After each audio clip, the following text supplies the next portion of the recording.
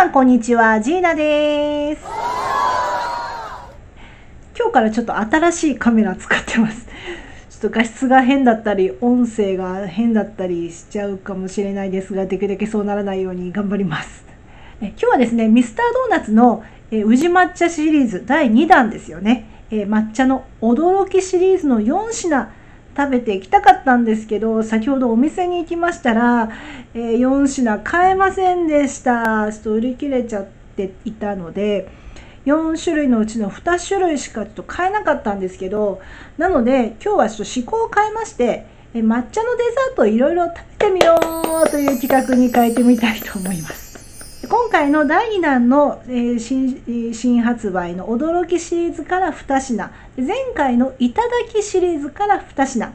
あとはですね、えー成城石井とセブンイレブンで、えー宇治抹茶のデザートありましたのでそれも一緒に買ってきました。早速食べてみたいと思います。ご用意した商品はこちら。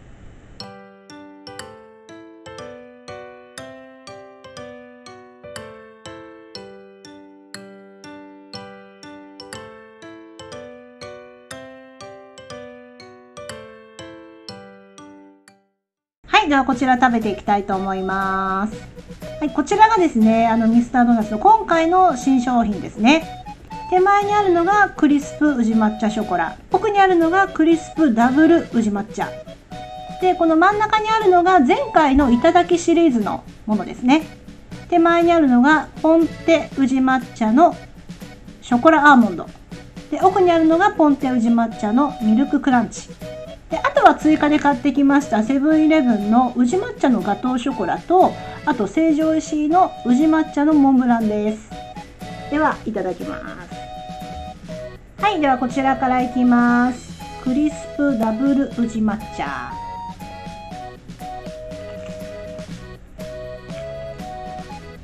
うん？サクサク。中の生地にも宇治抹茶。でそして上にも宇治抹茶クリームが乗っかってます。でもね結構ショコラ感強い。あこれ上に乗っかってるのが美味しい。すごくカリカリでザクザク感が強めのものが乗っかってます。下はね案外しっとり生地なので上のこのざっくり生地としっとり生地と一緒に食べると美味しいと思います。うん。あんまり抹茶強くないかな。はいではこっち行きますね、えークリスプ宇治抹茶ショコラ。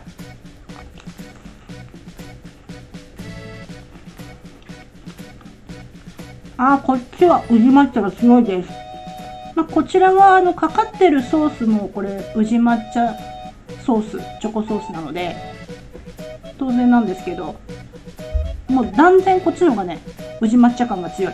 なんか商品名だけ見るとこっちにはあの宇治抹茶ショコラってついててさっきの方には、えーダブル宇治抹茶って入ってるからなんか抹茶感強そうな感じがするんだけどこっちの方がねまあ見た目もそうですけどもう完全宇治抹茶強いですね。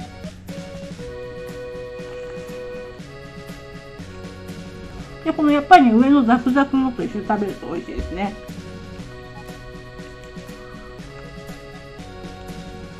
うん。ちょっとねもうこの成城石井のモンブランが溶けそうなのであの今日だいぶねカメラに手こずって放置されてしまってるのでちょっとこれいきますね、えー、成城石井の、えー、宇治抹茶モンブラン。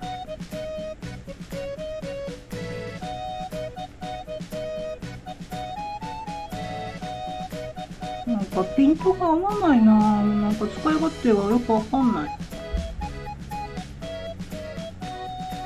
わミスドの宇治抹茶と全然味が違う。どう違うってなんかごめんなさい。うまく説明できないんだけど。あのねお抹茶の抹茶にすごい近い。こっちの方が。なんかこんな感じですね。ホイップクリームたっぷり入ってます。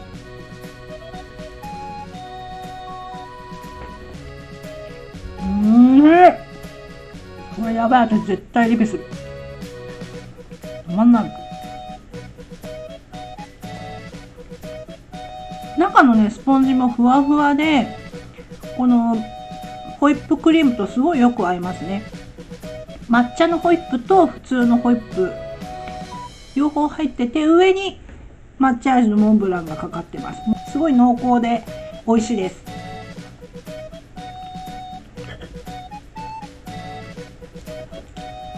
うんあっという間なくなっちゃった。はいじゃあ次こちら行きましょう。セブンの宇治抹茶のガトーショコラ。あこれもね全然味が違う。宇治抹茶って一言言ってもねいろいろですよね。これはねあの和菓子屋さんでよく出会う抹茶の味。それがもうギュッと濃縮された感じですね。美味しい、まあ、ガトーショコラなんでこれもチョコレートと合わさってるんですけど。すごい濃厚。あの鼻血が出そうなぐらい濃厚なチョコレートが好きな人はやっぱりこれガトーショコラいいですよね。それに香りの高い、えー、宇治抹茶が混ざった感じですね。はいじゃあこちらミスドに戻りましょう。前回のいただきシリーズですね。ポンテ宇治抹茶のショコラアーモンド。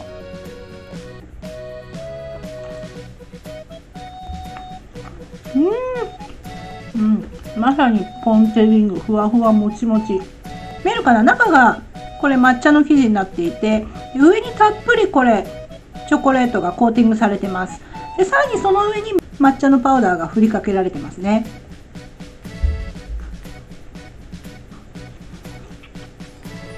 これが見やすいほら。なんかしっかり抹茶。これもでもやっぱりそんなに抹茶強くないですね。ショコラがすごい強いかな。はいでは最後ですポンテ宇治抹茶のミルククランチ。わミルククランチがザクザクですごい食感いいですよ。でねこんだけしかかかってないのにミルクの味がすごい強い。あこっちはちゃんとね抹茶が感じられますね。さっきもそうだったんですけど結構あのチョコレートに負けやすい感じがあるのであの黒いチョコソースがかかってる系のものはあまり抹茶味が感じられないかもしれない。チョコが好きな人はそっちの方がいいと思うんですけどしっかり抹茶を味わいたい人はちゃんとこの緑系の見た目のものを選んだ方がいいかもしれないですね。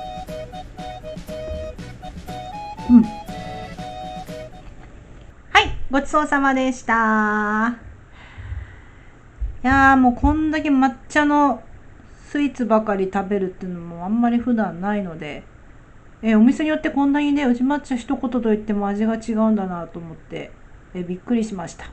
えー、今日思いがけずちょっと企画変更ということになっちゃったんですけどあの食べたかったなあのポンポンテリングのあの下にパイ生地がついてるやつですよねもちもちとサクサクで絶対美味しいと思うのでちょっとこれはあの動画にするしない関係なくまたちょっとトライして買いに行きたいと思います。はいでは本日もご視聴いただきましてありがとうございました。また次回もお待ちしています。ジーナでした。